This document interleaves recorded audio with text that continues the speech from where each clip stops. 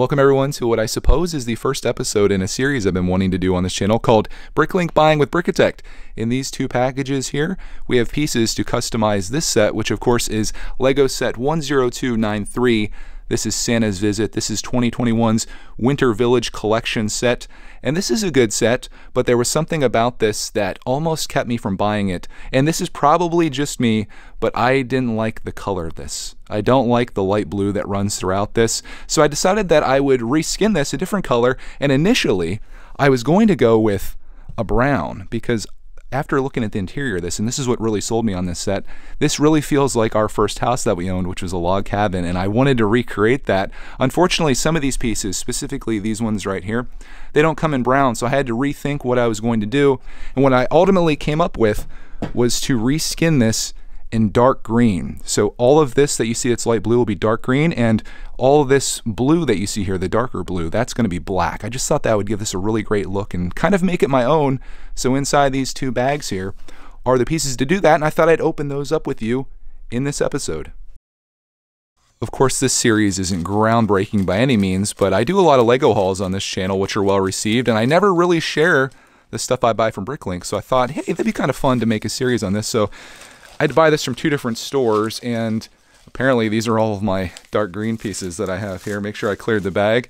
And I had to make a couple substitutions in here, and I think it was these. I couldn't get any 2x6 in the dark green of these plates, so I ended up having to kind of double my order, and I got 2x3s, which was way more economical to do that. So a lot of those pieces, I think they're like over the windows back here.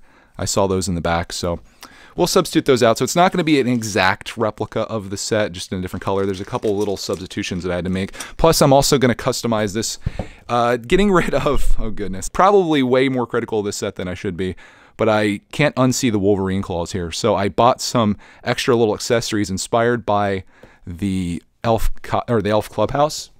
That is what is in this next little package here, which is so adorable. Like they put the tiny little label on here too.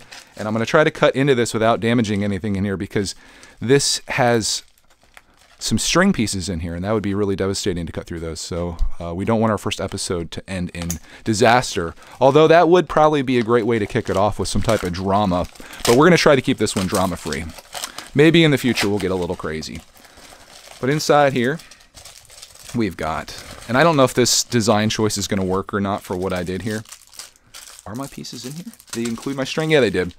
So the Elf Clubhouse has a string of lights that goes up around the roof of it. It goes right up here like this, and they're in white with these colors. I ended up getting black because I wanted to kind of complement the black that I'm doing throughout. And this right here is the string, as you can see in there.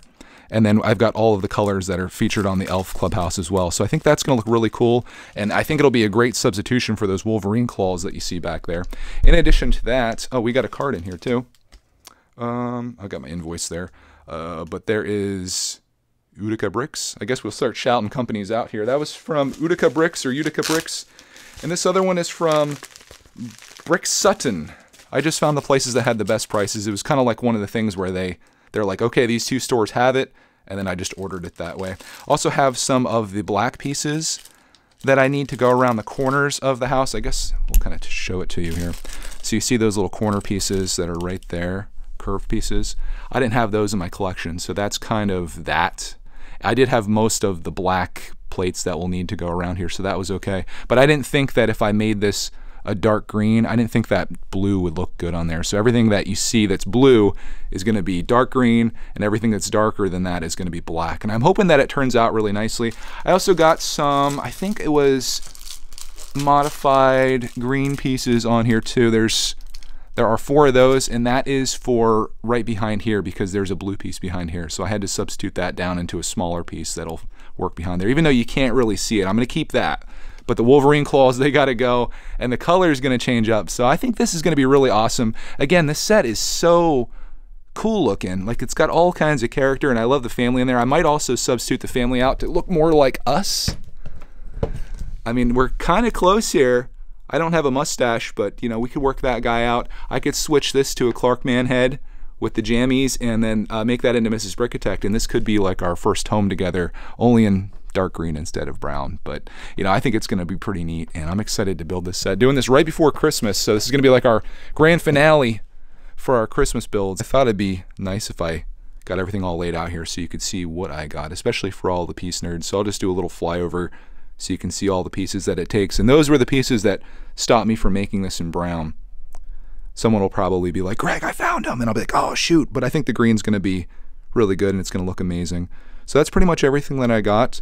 And I'm excited to reskin this and turn it into a dark green set. I think it's going to look fantastic. You'll have to come back for the grand reveal on that. I'm going to be working on this today and that should be out sometime soon if you're watching this in real time. If you're watching this later, maybe I can have the video pop up somewhere on the screen right now.